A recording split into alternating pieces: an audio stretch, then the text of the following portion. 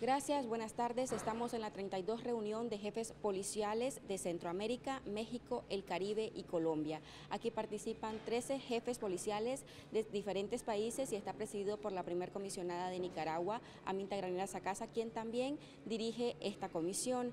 Aquí se abordarán temas de interés regional como la lucha al narcotráfico, el combate al crimen organizado y las estrategias de seguridad que se han planteado en cada uno de estos países. También a partir de esta reunión se valorará el trabajo realizado desde agosto de 2012 a enero de 2013 y se plantearán nuevas estrategias de trabajo que regirá cada uno de estos países a partir de 2013 buscando la unidad de las regiones. En este acto también participan invitados especiales como la presidenta de la Corte Corte Suprema de Justicia, la señora Albaluz Ramos, y el fiscal general de Nicaragua, Julio Centeno Gómez. Ampliaremos más detalles de esta información en nuestra próxima edición.